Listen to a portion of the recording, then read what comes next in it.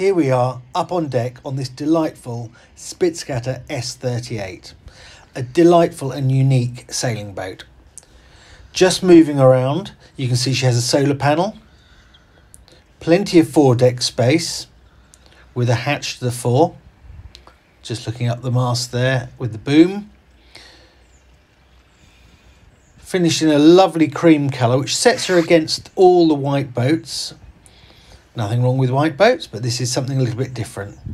And just moving along, you can see some of the accessories that she comes with to make sailing that much easier.